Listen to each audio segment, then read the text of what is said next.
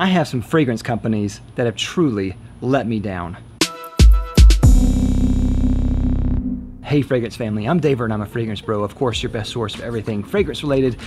Today I have a video that's talking about some fragrance houses that have really let me down. Now over the years, you know, you try out some things on your journey with fragrances. Some you really like, and then some you grow out of liking. And so today I'm gonna be talking about some of the houses that I just used to like, but I don't like anymore. I'm gonna go from least to greatest offense on this list. And, you know, I reserve the right to change my mind, of course. Maybe these companies will turn a new leaf and they'll release a fragrance that I really love. But for the most part, I just really don't like these houses anymore. Now, first on the list is Chanel. Now, this may come as a surprise to you because Chanel is a powerhouse in the perfume world. And I do think that it is for women's perfumes. For men's, I don't really find that to be the case. They have some that are good. Bleu de Chanel is good. Uh, Allure Homme Sport is good. Platinum Egoiste is good. But they're not releasing great fragrances for men anymore. They've just kind of released kind of just average style fragrances. Maybe they're really popular, but I just don't find them to be very good. On the women's side, however, I think they are releasing a lot of stuff that is really excellent. And even with their exclusive line, their more kind of boutique uh, line in their range, I think that line is better and I think that it offers more. It's really sad because I don't find Chanel to be much of a leader, especially in men's fragrances anymore. But hopefully that changes. Next is Montale, and I will even kind of put Mancera in there as well. Now both of these houses are excellent. I think they have really great fragrances with high quality ingredients. However, they are just wearing out every version of a fragrance that they can. What I really dislike about Montale especially is that they release fragrance after fragrance after fragrance every year at a breakneck speed as if it's a race. I really wish they would slow down and fine tune the fragrances more maybe and then be more selective about what they release. They have an extensive catalog that is so big that it's almost impenetrable. To someone who is just coming into fragrances who wants to try the Montale line, there is a catalog of, you know, hundreds of fragrances and all of them sound very similar. All of them have, uh, you know, like oud in the name or something, even though they don't smell like oud at all. For instance, oud candy. It smells like black licorice. Now the reason I lump Mancera in there as well is because there is a connection with Montale. I don't exactly know what it is, but it seems like there is a drama or bad blood between them. They kind of seem uh, like they release similar fragrances at similar times, so what do I care if one fragrance comes out with one thing and the other one comes out with another thing. You just kind of get either or. Now I find Mancera's bottles to be far less gaudy in some ways, but I'm just going to put Mancera in there as well for all the same reasons that I mentioned for Montale. Next on the list is Creed. and I know I'm going after the jugular on this one. Creed is another house that hasn't released anything good in years. Years! The last thing they released that was significantly worth trying was Aventus, and that was a long time ago. Creed is also one of those houses that has a ton of fragrances that no one knows of and no one has heard of and that no one cares about. No one cares about, what is it, Royal Scottish Lavender?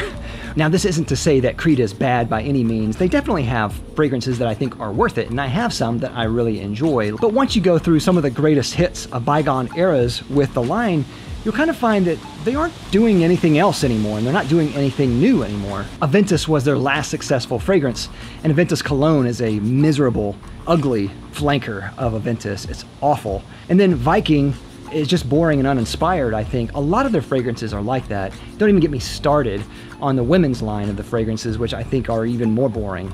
Now, maybe they will come out with something new that is legitimately good, but I find that Creed is a victim of its own success. Once it got a taste of really good mainstream success with Aventus, I find that they don't want to go back to where they were before, releasing fragrances in their own style, in their own way. You're never going to find another Erolfa. You're never going to find another Millésime Imperial. You're never going to find another Bois du Portugal. You're going to find another Aventus Night or Blue Day Aventus or something like that. They're going to milk Aventus until it dies. And that is why I think Creed has utterly failed me. Next is Bond number nine. Bond number nine, to me, in my opinion, had a lot more success years ago, especially within the fragrance community, there were a lot more people that were really interested in what Bond Number 9 was doing. And they have a catalog that is really big and, just unwieldy. Most of their fragrances, I just don't think are that great. I think they're just okay at best. They don't smell particularly great, especially for the price that they have. The fragrances that I used to have by Bond Number 9 I sold, just because I found that I didn't wear them a lot. And fragrances that were similar in that similar kind of style and genre, I wore a lot more. Now I don't know when they're gonna stop making fragrances, probably when they run out of street names in New York. but that's one thing that is kind of confusing about the line that I don't like. The name of the fragrance doesn't describe what the fragrance smells like. So sometimes that can be kind of a very confusing aspect of the line. Now, maybe some people really like that aspect, and that's a fair criticism. I think some people will like that and some people won't. But for me, I haven't found anything new come out of Bond Number 9 that I think has been really good. I think most of the stuff that they've made has just been passable. And they're just kind of going through naming all the streets in New York, and eventually they'll just run out. Next is Amouage. now, Amouage is a fragrance line that we actually started to review years ago, and we went through several of their line. But the reason that we stopped at that time was because we just didn't like the line. There's only like maybe three tops that I think are really good and wearable. The rest, they just aren't wearable most of the time. Now, obviously, people are going to disagree with me here too, but I can't find a reason that I would want to wear Fate Man. And some fragrances, though I think they're good, like Honor Man or even Memoir Man, I just can't really find an occasion to really want to wear it when I can wear other fragrances that are similar that I think do it far better. That left me with the rest of the line, which I really just don't get and I don't really like at all. Some people really like Amouage because of how different they are, but I find that they're just too experimental and they're not really fragrances that you want to wear all the time. And honestly, most of the fragrances that they come out with, I just dislike, frankly dislike, or even hate, despise. So it came to a point where we stopped reviewing Amouage fragrances, and I even got people who asked why. Why, are you, why aren't you reviewing these fragrances anymore? And the reason really is I'm tired of getting a new fragrance from Amouage and being like, eh, I don't really like it, I hate it, stuff like that. It just became predictable. Number two is Tom Ford. Now, now we're getting a little serious here. All right. Tom Ford is a great line sometimes, but what I really don't like about Tom Ford is they haven't made a good fragrance and it's been a long, long, long time.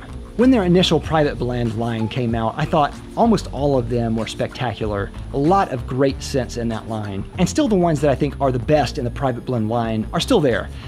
The problem though is that they have a very shotgun approach when it comes to fragrances. They fire off, you know, three to five private blend line at a time and see what sticks. And I don't appreciate that at all. They're constantly just getting rid of old fragrances that didn't sell well, and maybe they'll keep one or two uh, eventually. But what I really hate about that is that if you like a fragrance that just comes out in the private blend line, there's a really high chance that it won't be there next year and it'll be discontinued. Though I understand when some fragrances get discontinued, I don't like the model of let's discontinue it right away. Maybe they should just focus their efforts more on making a fragrance that they think will sell or maybe they focus their efforts on making a good fragrance instead of making three to five at a time. Another complaint that I have is that some of the fragrances that I used to love, I just don't love anymore.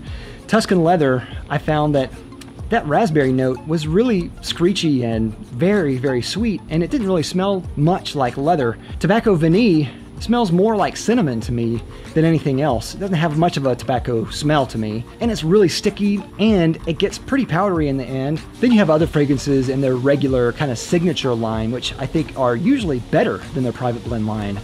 Which, why? Why are these better than the private blend line? It should be the other way around, but I find that they're actually pressing the envelope more with some of their fragrances, like with Black Orchid and with Grey Vetiver and Tom Ford Noir, but they stay longer. They'll stay in the line a lot longer. If a new fragrance comes out, I'm probably not even interested in trying it at all because I know that within a year's time it's gonna be gone. So why should I care? And the last fragrance on my list is Thierry Mugler, or now just Mugler. When I first started in the fragrance community nine years ago, this was, you know, mega popular in the community. Everyone wanted pure malt. Everyone wanted the latest Thierry Mugler flanker. And there truly were some great flankers that came out from the line. Of course, you have the original Amen, then you have Pure Coffee, Pure Malt, Pure Havane. All of these are excellent fragrances. And there was a time When Pure Malt was discontinued and almost impossible to find, and on eBay it sold for over $300 a bottle, and people were buying it.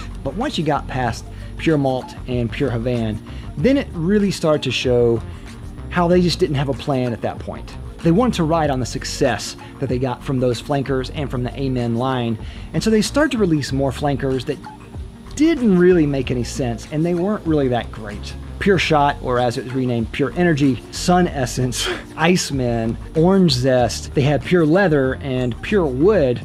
And all of these fragrances, I just, they're not that great. They're just not that great. On the women's side, they're just constantly making alien flankers and angel flankers every year. They come out with a new one. And they're almost even worse. The alien flankers are only slightly changed from the original alien. My friend on the channel, Jer, we actually at one point made a video specifically for Thierry Mugler and gave our suggestions about what to do.